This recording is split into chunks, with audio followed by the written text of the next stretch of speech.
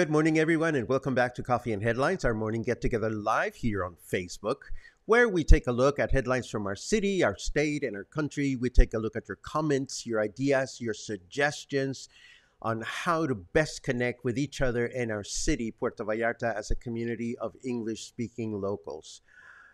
Oh, that was all said in one breath, so my lungs must be getting better. We are still I think we're still in COVID jail, although we're definitely on the way out. Today is Monday, June 27, and it's a pleasure to get together with you, as always, and share the latest and greatest. I hope everybody had a good weekend, and uh, I hope nobody. Oh, no. Luisa is in COVID jail. I am so sorry to hear that. Um, I wish a speedy recovery for you, that's for sure. Anyhow, we've been in COVID jail for for over a week now, and we'll tell you a little bit about how the weekend went in a little while. But first, as always, we welcome everyone that puts some time aside to get together in these broadcasts. It's very much appreciated. And if you're new to the broadcasts, feel free to let us know by writing the word new in your comment and we'll give you a nice little welcome. And if you have something truly important that you wish to share with everyone, it helps a great deal if you add a capital letter Q at the beginning of your comment, and then we'll take a look at it during the second half of the broadcast. Today, as always, we have a selection of news, not a lot of stuff going on, or maybe a lot of the same stuff going on uh, because you know the city's still looking for employees. The number of COVID cases is still increasing, and uh, the city improvements continue to improve. So some days I wake up thinking to myself, okay, are people getting bored of hearing the same news over and over, or are there other news going on? And I never have a proper answer for that. But what we do gather, we gather with the best intention to keep you connected, and that's exactly what we're going to do. Aye, and I should remember to take a breath every now and then. Let us get started with the news, and we'll take it from there and see what you've been up to and how your weekend was, and how many television series did you watch, and all that good stuff.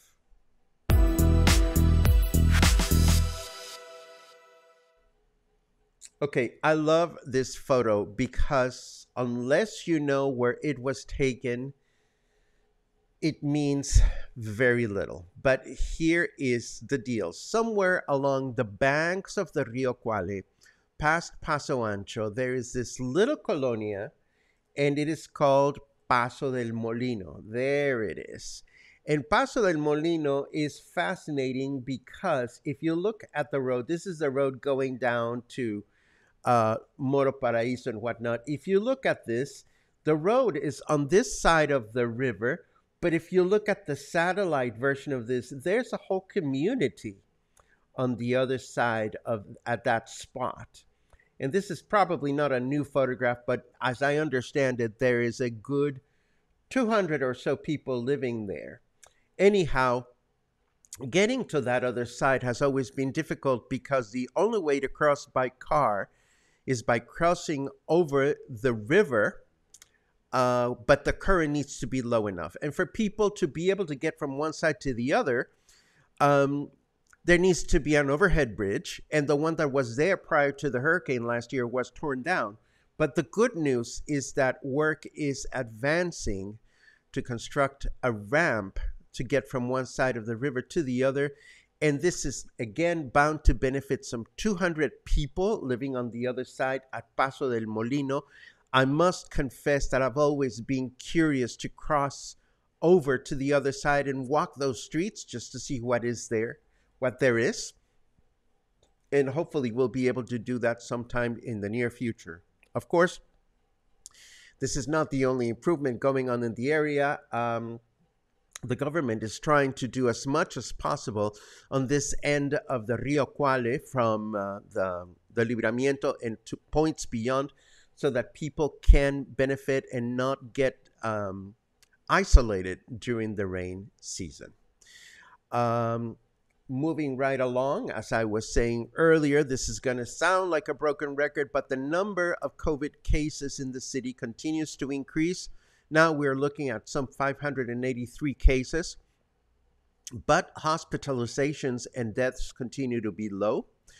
But again, speaking from firsthand experience, I'm grateful to have received my vaccines when they were available and cannot urge you enough to be proactive if you present any cold like symptoms or fatigue.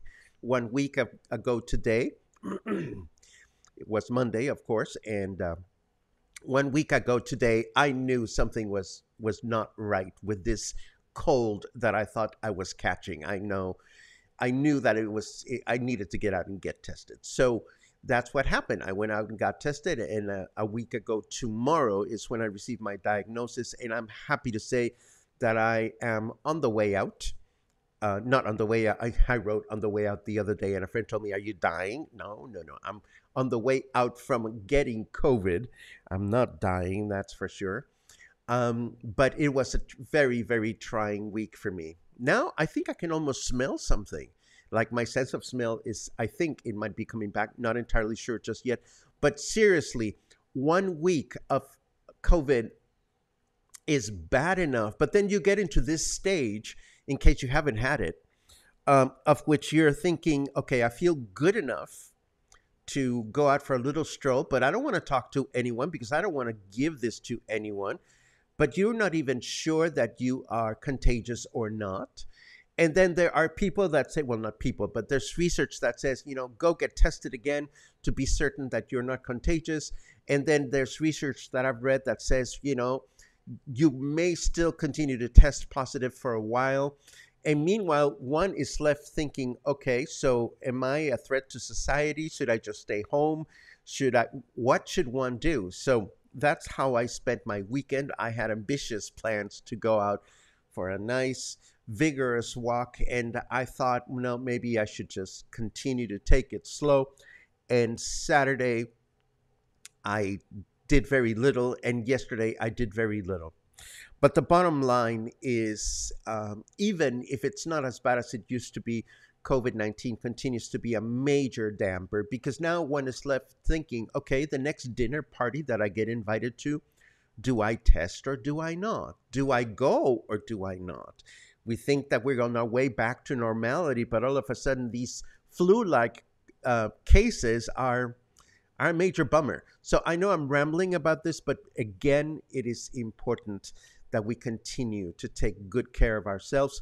Um, if you know of anyone that is feeling even the slightest of symptoms, you know, it's not about getting yourself all worked up or anything. It's about having the certainty that you are okay or not. And certainty is now very inexpensive compared to before. Um, is as little as you know 260 pesos, or you can go to where you're getting uh, the free tests and whatnot and that's that's what I have to say. Uh, thank you very much for indulging me that. Anyhow, moving right along, summer vacation season is around the corner, and there are still according to this news note, 9,000 jobs available in the city to be had, and yet people are not applying, or the people that are applying are not being given the jobs. So the different business chambers are forced to find ways to find workers from elsewhere. The article, as we've come to expect, is not thorough and simply states that the chambers have not been able to pinpoint the reason why people are not applying for jobs. And one begins to beg the question after all, there's so many times in which you can report that there are jobs available without getting into the meat of the matter. Um, we don't know if it's that the pay is not enough or that people that are applying don't have the necessary skill set. I just can't put my finger on it. But please know that according to this, there are plenty of jobs to be had out there. So if you're looking for a job, go and search for one and apply for one, I suppose. Let's take a look at the weather just to see what we can expect for the beginning of this week.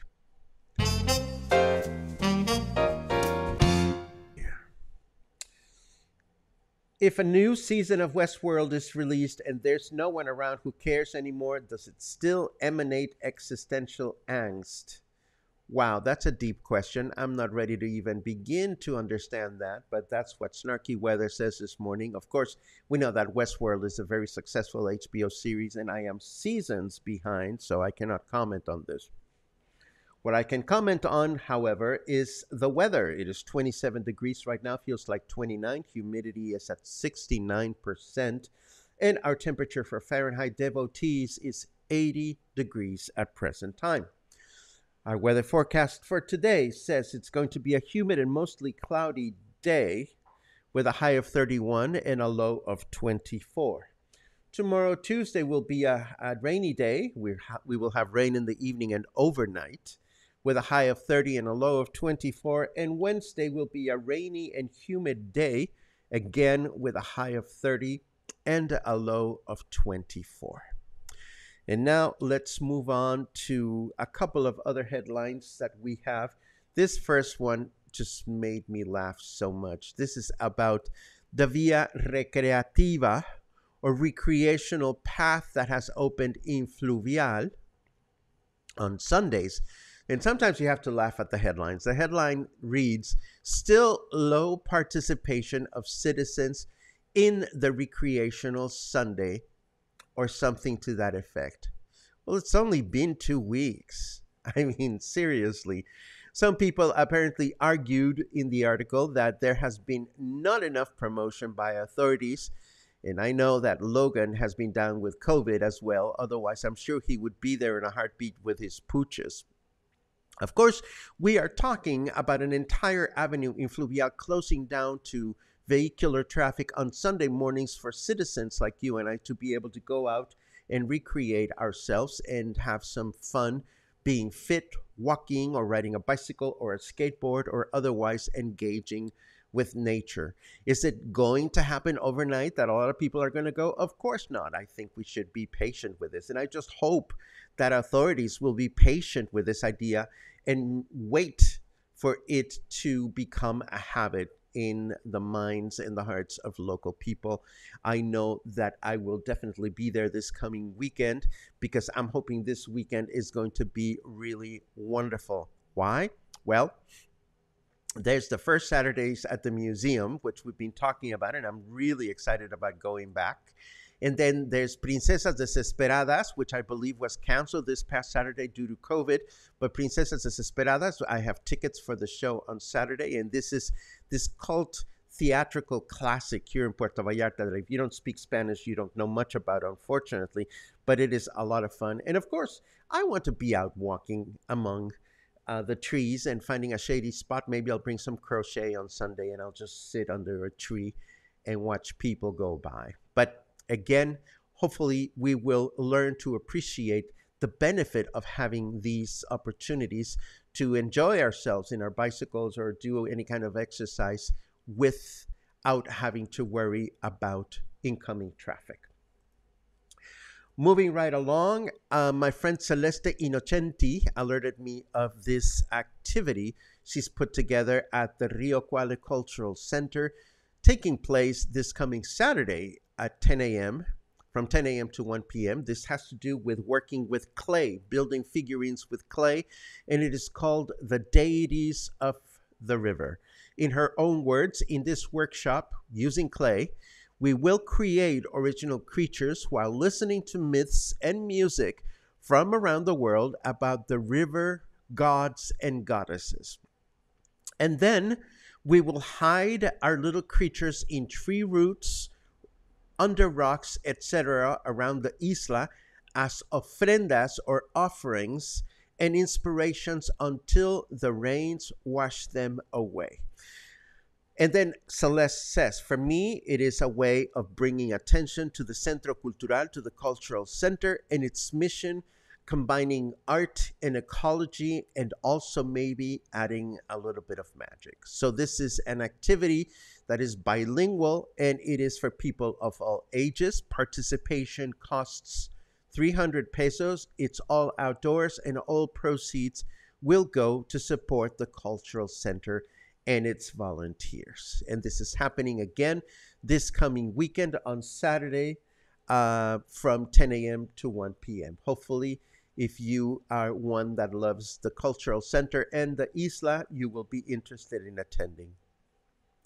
Last but not least, we have an update about the Maria Islands, excuse me, which just a few months ago we were talking about at length. You may recall that the Maria Islands was the last penal colony in Mexico. It's a series of islands off the coast of Nayarit that were turned into an ecology park. And at the time, Mexico President Andres Manuel Lopez Obrador was making a lot of noise about how they were going to reopen to the public. And he even went there and inaugurated the experience on April 9th. And now, according to this news note, we learned that the Islas Marias could open to the public in a matter of three months. Apparently, the government is now busy securing ferries and setting up lodging opportunities for visitors, but no specific information is available at this time. Meanwhile, friends of mine and I uh, brought up a, a subject came up in our conversation again, which is that of the Chihuahua Pacifico train, the Chepe, the Copper Canyon train, which I'm always uh, happy to hear that it is in the bucket list of people that I know. And I keep thinking, one of these days, one of these days, we'll get on the Chihuahua Pacifico train and go and explore it. And if you don't know what this is about, um, I'll be happy to refresh your memory. We've talked about the Chepe before, and I will continue to praise El Chepe uh, which is not to be confused with El Chapo, who is another character altogether. Anyhow, this is what we have for you today. Let me rewind the comment tape just to see what everybody is up to this morning. As always, it is a pleasure to read your good mornings. Um, let's see. Brian, I hope you got my message. Good morning to you. My message regarding um, the telephone number from my friend Francisco and his transportation services. Um, and let's see what else we have. Doody doo doo doo. Kelsey says, Good morning, getting out of COVID jail today. Um, and I'm just wondering, I'm not questioning you, but how do we know when we get out of COVID jail? How can we actually know? I mean, other than having the certainty of another test, like I went out yesterday to pick up food from the the Parrilla de Villa right around the corner, and I was very careful to keep my distance from people and not talk too much and stuff like that. But I I wish I had the certainty that I can go out and restart my life, but I don't have it just yet. Um, let's see what else we have. Dee, dee, dee, dee, dee, dee, dee, dee, dee. Ba, ba, ba. Oh no.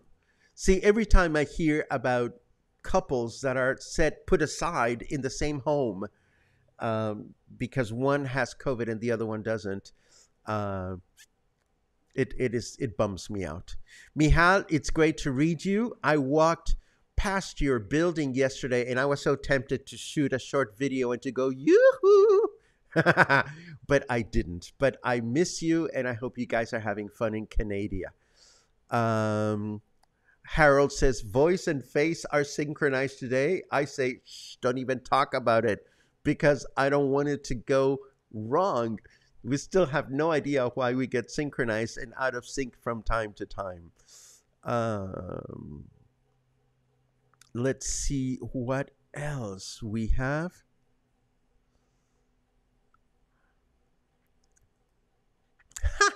What kind of activities go on in Puerto Vallarta for Day of the Dead? It's on my bucket list. Have I been watching too much Coco?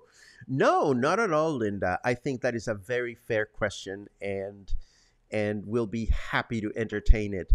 Um, Day of the Dead is Puerto Vallarta has Day of the Dead activities uh, uh, or has had prior to the pandemic. I think, yes, this will be the first year in which things I mean, unless we fuck it up between now and, and, and Day of the Dead, this would be the first year in which we would get the festival back.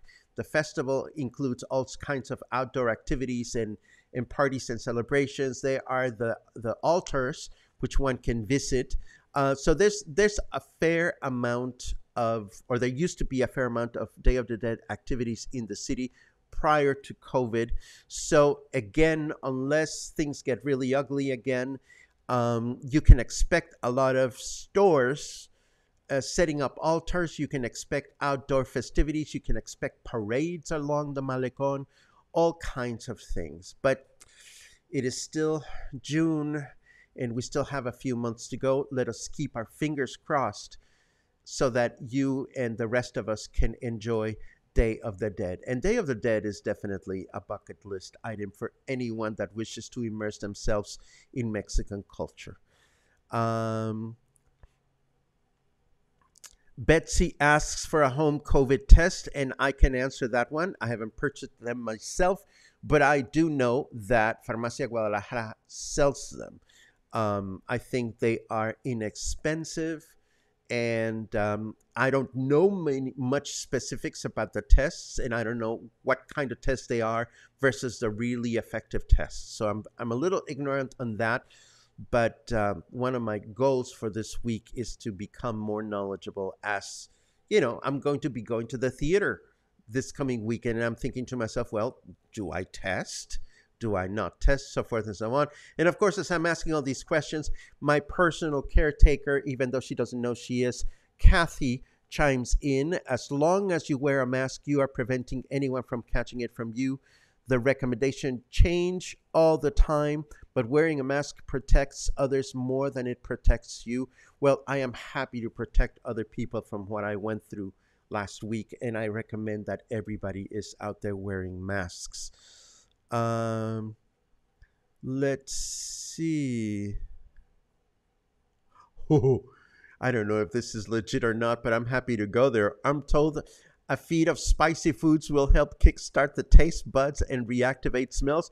I'm happy to give that a go. I have plenty of chipotle in the refrigerator right now.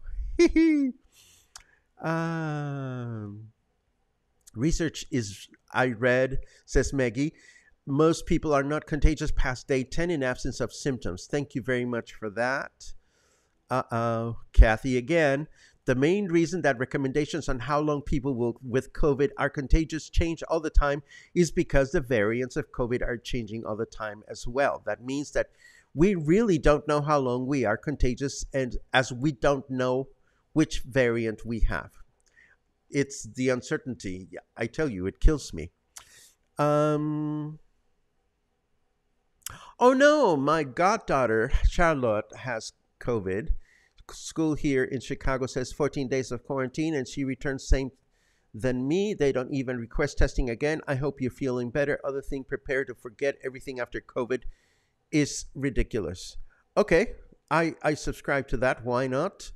Um, Brian wants to go on a train ride as well. I hear you.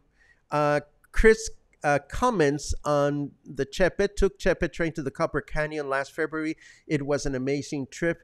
I so want to do it. It's not even funny. Um, Marie asks, Paco, do you think you may have picked up COVID at the meet and greet last week or contagious at that time? I am quite ill, getting tested today, and that get together was the last time I was out before becoming sick. Certainly not pointing any fingers, just trying to figure out the timeline if it is COVID. You know, Marie, I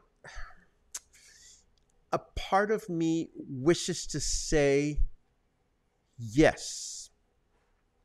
But then a part of me wishes to say no because I worry, and maybe I'm exteriorizing my own feelings. I worry that we get too quick to jump to conclusions and point at places or point at people and point at circumstances. I mean, in my personal experience, it could have been a bus ride. It could have been the the meet and greet that we had at Whiskey Kitchen because of the timing. It could have been a sneeze that somebody had like when they were walking by me on the street. So um, I don't I don't know what to tell you. Um, I go through a lot of struggle personally because I saw some friends over the weekend, and a lot of friends got sick too. And I can't help but to feel partially responsible. And this brings up all kinds of feelings that I'm not ready to to clearly understand. So I don't know that I'm helping or not helping. Um, all I can say is it's everywhere and I am constantly surprised at how many people I am hearing that are getting it. Thank God it's a lot milder than before. Um, but um, but there you go. I've just rambled for a whole minute, and I don't think I was helpful at all. But I don't know that I can be helpful on that. I hope you will take my comment for what it is. Um, boom, boom, boom, boom, boom, boom. Let's see. It was so cool in our first week to walk areas we saw in your videos. Well, I'll tell you, Luisa, I am so itching to get back out there and walk and and and and take my camera and do what we used to do before we got sick and hopefully we'll be able to do that soon. Maggie, thank you for a little bit of information. The home tests are antigen tests. They are more indicative of being contagious than PCR. PCR can be positive for a long time after illness. Thank you for that. Raymond wants to go on the Chihuahua Choo Choo as well.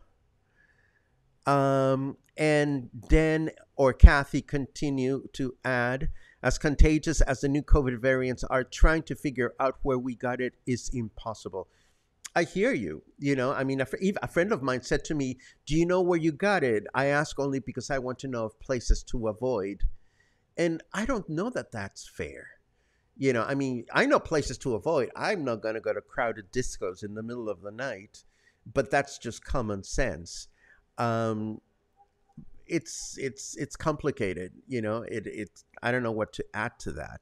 Joey, who is probably also convalescing, it's everywhere. We are bound to get it. We are all living our lives and going places. No guilt should be placed on anyone unless there was the intention of getting people sick, knowing you were sick and I don't think any of us goes out with the desire to get anybody sick. So there you have it. Um, now my daughter's husband has tested positive. Guess the isolating was a fail. Well, if you were all in the same house or under the same roof, it must be very difficult to isolate, Alan. All I can say is to anyone that is doing that is dealing with COVID right now, um, just just be very careful and go through the motion and pray for a speedy recovery and take care of yourselves and this of course brings us to the end of today's coffee and headlines.